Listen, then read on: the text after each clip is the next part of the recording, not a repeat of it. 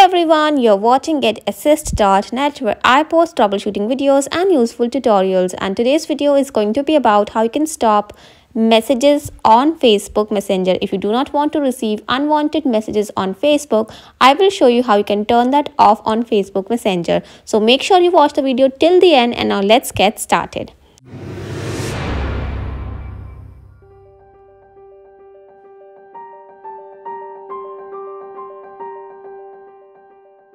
Alright, so first of all, you just have to open the Messenger app and if you do not want any other person on Facebook Messenger to message you, you have to make some changes in your settings. Alright, for that, you have to tap the three lines given at the top left and then you have to go to message request section. In this section, you will get the option to decide who can message you as you can see this link in blue.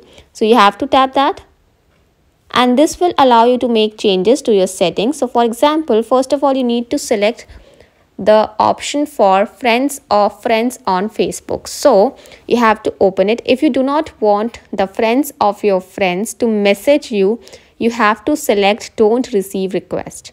So any of your friends friends will not be able to message you or you can even select chats or message request. Alright, so that's the first thing you need to do.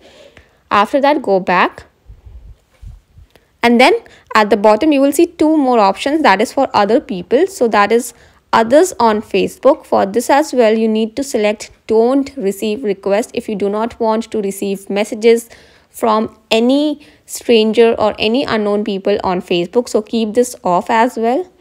And then people on instagram if you do not want to receive messages from people you have added or followed on instagram you again have to set it to don't receive requests. So that's how you can turn the message option off for others on facebook. Only those who you have added as friend will be able to message you and will be able to interact you. So that was it for today's topic. I hope you found this video helpful. And if you do don't forget to hit the subscribe button and also press the bell icon to stay notified of all my upcoming videos. If you have any doubts issues or queries do let me know in the comment section down below. And for now i will take the leave we'll see you the next time